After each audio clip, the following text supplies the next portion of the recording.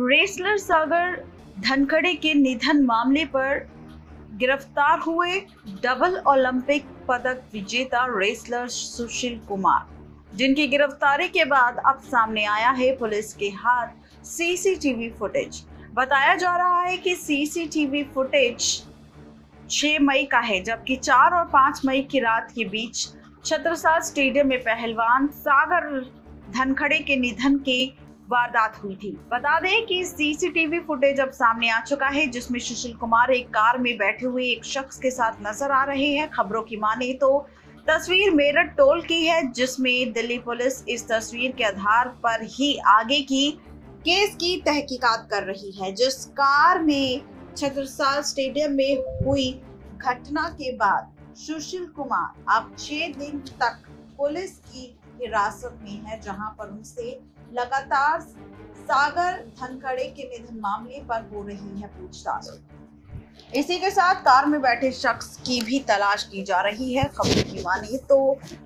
Driving seat पर बैठे शख्स ने ही सुशील को छिपाने में मदद की थी। खबरों की माने तो इस कार का इस्तेमाल सुशील के छिपने में इस्तेमाल किया गया था। बता दें कि हाल ही में दिल्ली के कोर्ट ने सुशील कुमार की अग्रिम जमानत याचिका को भी खारिज कर दिया है।